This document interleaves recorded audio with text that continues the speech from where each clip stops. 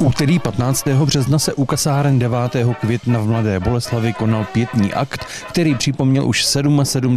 výročí obsazení Československé republiky německou armádou a vyhlášení protektorátu Čechy a Morava.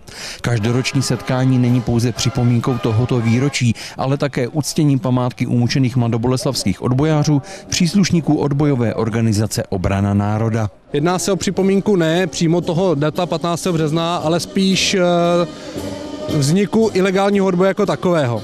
Mladé Boleslavy jako velkým městem s velkou vojenskou tradicí eh, se koncentrovala odbojová organizace obrana národa.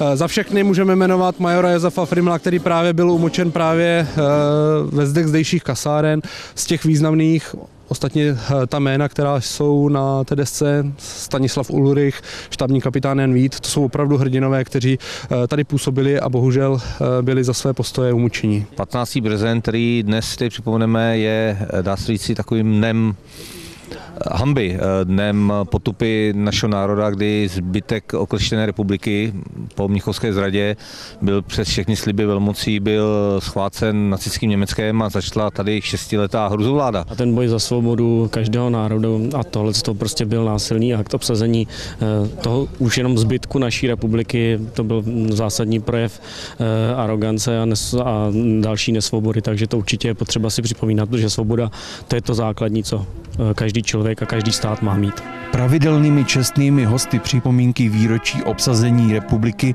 jsou potomci umučených odbojářů. U kasáren 9.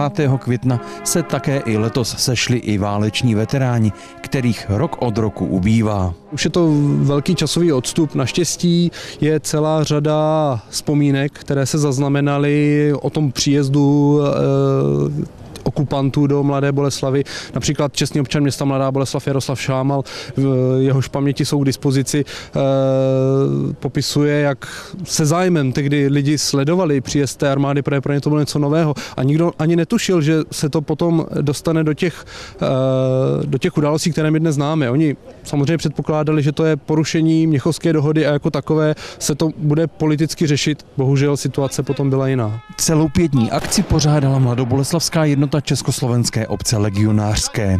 Bohumil Horáček, první Boleslavská.